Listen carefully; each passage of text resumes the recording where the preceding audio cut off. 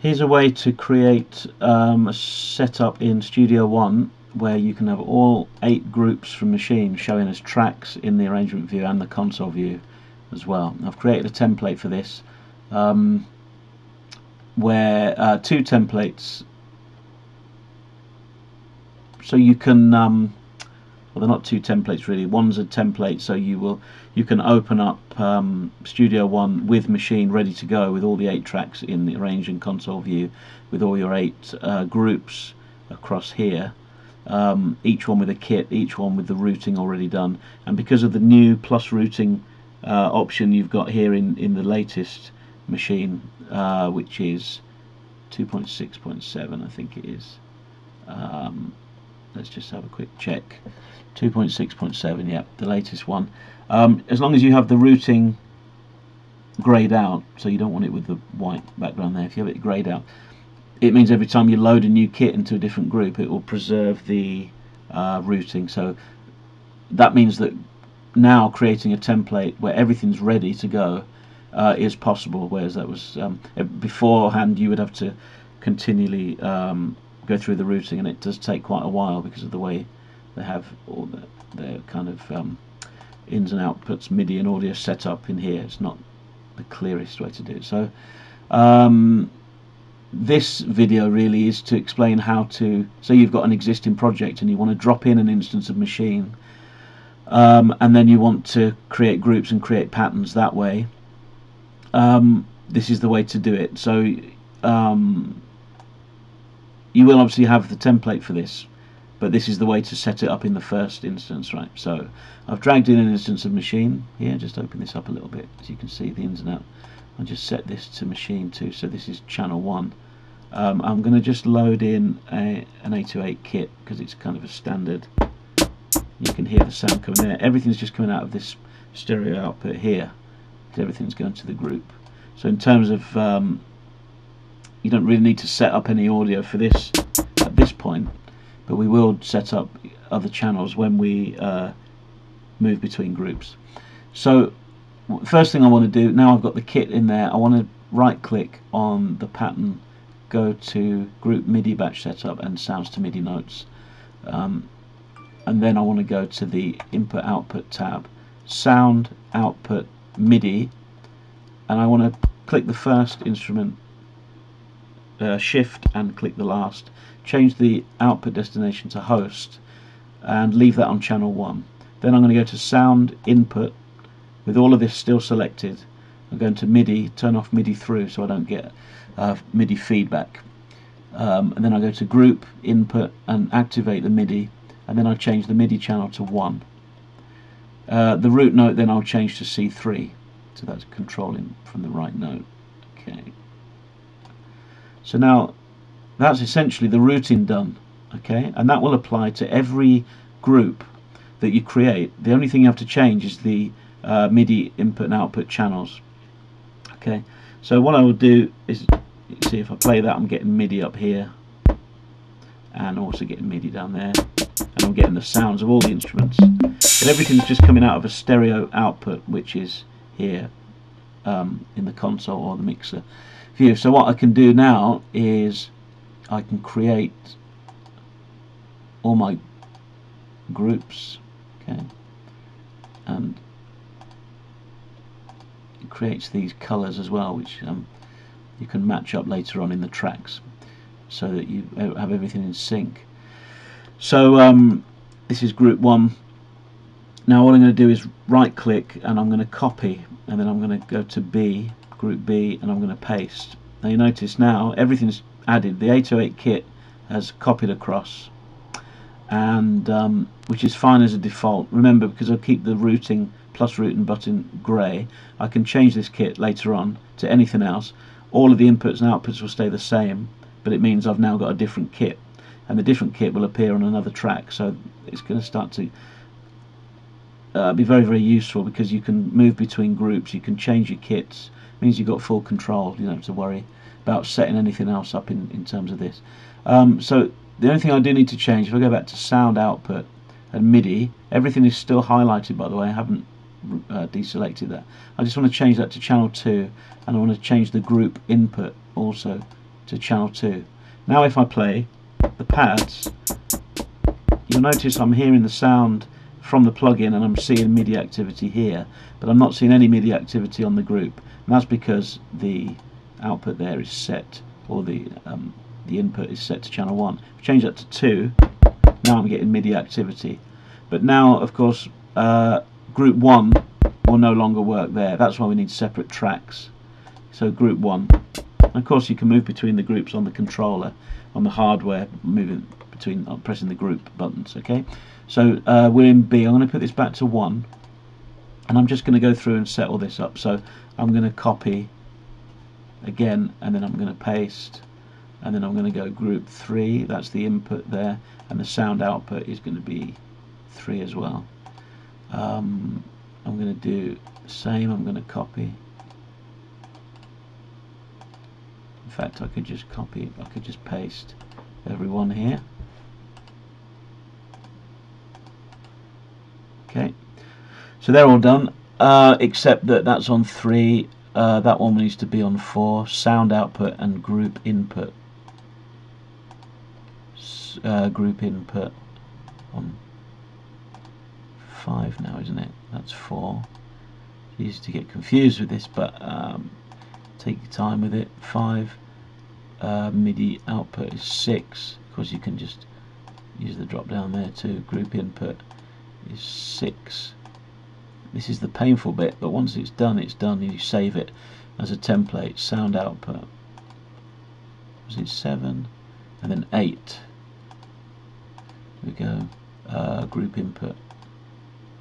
8 so now if I just go through them pressing them on the uh, group buttons on the controller group input 1 2 3 4 5 oops 5 6 7 8 and then the sound output let's go back to there 1 2 3 4 5 6 7 8 and of course uh, all of them will be on C3 but I'll just double check. Yeah that's not moving. So that's good. Right. But you can see that I've uh, in the Studio One um, menu here I've saved eight groups MIDI setup stereo routing. Okay I've set that up there uh, because I did some uh, stereo routing as well in the mixer um, what I'd have to do is change all of these going from master these are all the groups and I'll change them all you know external 1 to 8 which I'll do in a, in a moment. But also you can save this as a Maschine project.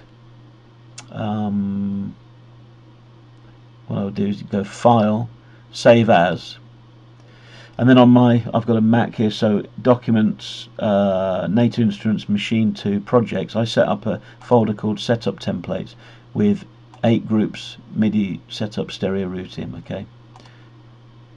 I mean uh, it's very very useful then because you just have a file in there. Every time you open up you know you can open up a template.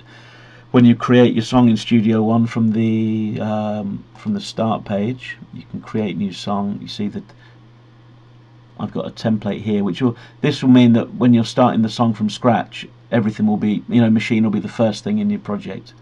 Um, unless of course you set up a new template where this Maschine was part of that template you might have synths and virtual instruments and audio channels all ready to go anyway but that's you can um, work that one out for yourself um,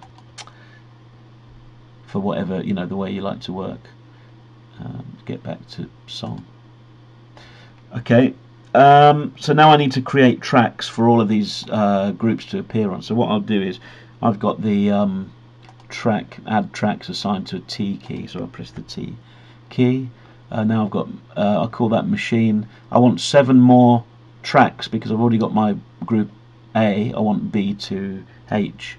So I will uh, have seven have it the same color as, as A for now um, default input existing instrument I want that selected because I want to use this same instrument as here. And then I want to just change this so that it um, to 2 so the next track will be 2 because the ascending uh, is ticked. The track after that will be 3, 4, 5, 6, 7, 8 all the way through correspond to that. So that your MIDI channels are corresponding to the ones that are set up in the pattern. I'm just going to highlight these open them up so I'll have to change this here to Maschine to channel 2 Maschine to channel 3 channel 4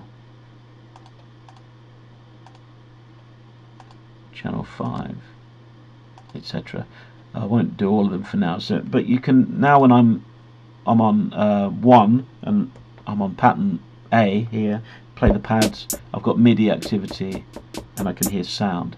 If I go to uh, which is now group B press B on the controller or click it here. Obviously the same sounds because I've got the same kit set up but I could change those. Um, that's working there. Um, if I move to 3 and you'll see no, no activity now because I'm still on B there. I need to change that to C. Now I've got activity.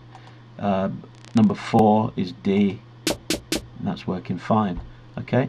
Um, but of course still everything is coming through this one stereo channel here. Um, it kind of routes that automatically to the master which is coming out of this. Now I can change that. I can just click on the instruments uh, tab here if you've got that open. Open and close that here. If I just click once on that it brings down a drop down of all of the outputs so I'll just do the first four for now just to show you that it's creating these um, in the console view. So now if I go to group A and play that's going to come out here. Obviously you're not hearing anything now because track 4 is still in record mode. If I go to there now you're here. If I now go to what is group B um, move to B here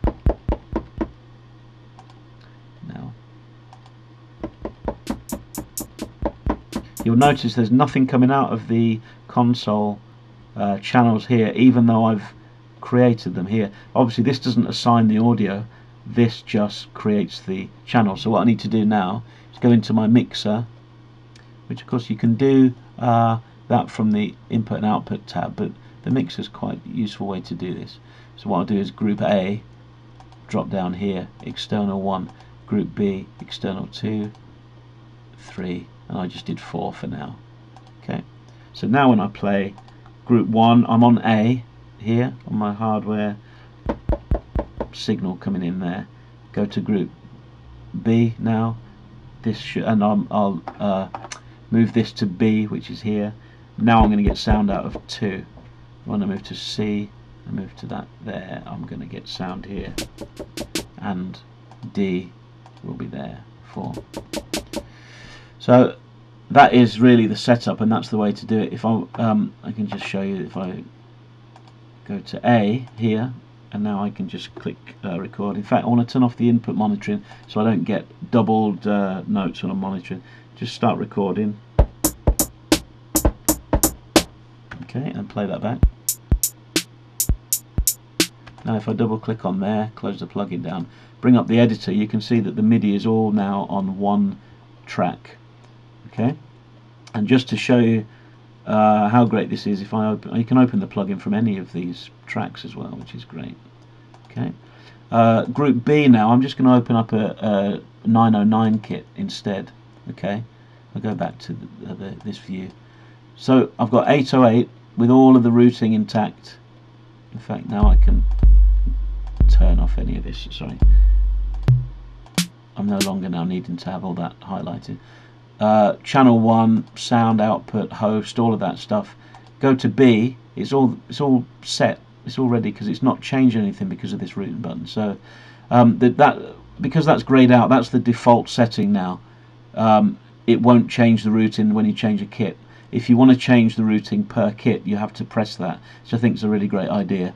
It just stops you forgetting and getting confused. So um, group A is an 808 kit group B is a 909 now so I'm, I'm on I'm going to label these because I keep forgetting group A okay group B group C etc. So uh, group B is 909, so I'm going to go there, take off that monitoring thing. You can hear that's a different kit sound, right? Um, I'm just going to record.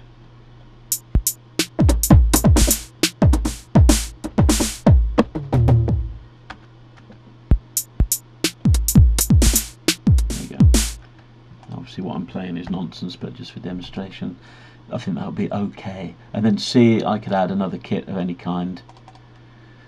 Routing stays the same. If I go to C now you hear different sounds. So you can build up a whole um, project using eight kits uh, eight different kits.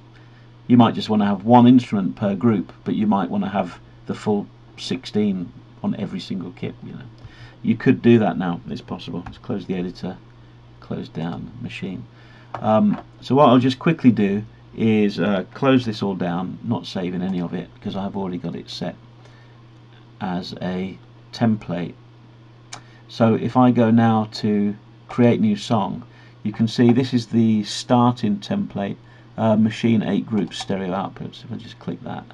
This will now open a brand new song in Studio One as a Maschine uh, project. And now you see what I've done.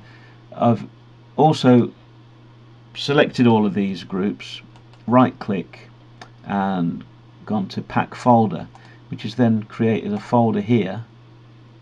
And then I right click there. Uh, there is an option. Where is the option? I right clicked that before and it, it said um, create VCA which uh, VCA is like a volume control basically I just you know so you can you can just have a little bit of volume control there. And um, you can open and close the folder to you know make space on your on your desktop. Uh, but I've also colored these you see um, you know the same as the groups colors that appeared when I just opened up the, the groups um, earlier on. I just added the same colors so you can you get a little bit of uh, consistency between them um, also I had to go into the console and color these and, and name them uh, as well uh, separately. Um, so I named group A to H there and I had to go in and put group A to H. But the whole thing works really well now. So um, make sure I'm on group A. Okay just I did record that group B change to group B on the hardware um, record. Of course I keep forgetting to take off the input monitoring. Um, group C on the hardware record.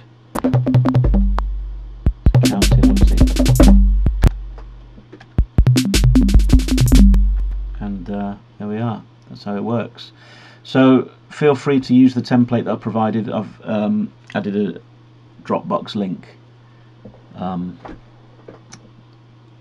wherever you're watching this. Uh, there should be a Dropbox link um, for the folder containing the video and, a, and an installation instructions and uh, all that kind of stuff. So I hope you find that useful. Okay thanks. Take care. Bye